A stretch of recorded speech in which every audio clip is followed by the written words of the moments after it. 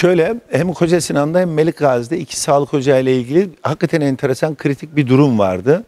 Daha önce Germir bölgesinde planlanmış bir sağlık merkezi diye tabir edilen yeri bir baktık ki çok küçük bir sağlık merkezine dönüştürülüyor ve diğer sağlık merkezi diye tarif edilen yerde ticarete dönüştürülüyor.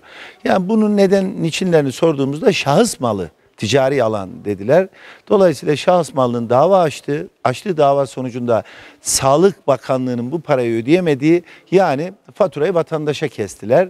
Bugün sağlık ocağı Germir'de olması gerekenden beşte bire düşürüldü. Gerekçe olarak da buraya açılan dava bu Beyazşehir bölgesinde de bir şehir hastanesi şeklinde bir hastane planlanıyor.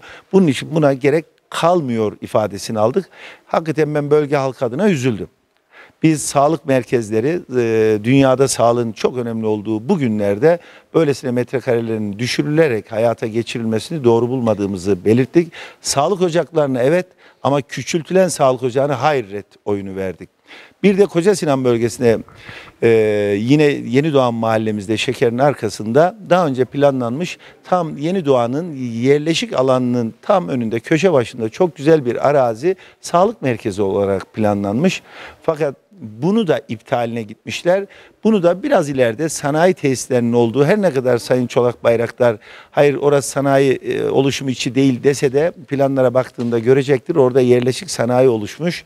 Bu bölgeye taşıyarak eski sağlık merkezi, halkın sağlık merkezini sosyal alana dönüştürüyorlar. Bunun sonra ne olacağını kamuoyu da tahmin ediyor olabilir.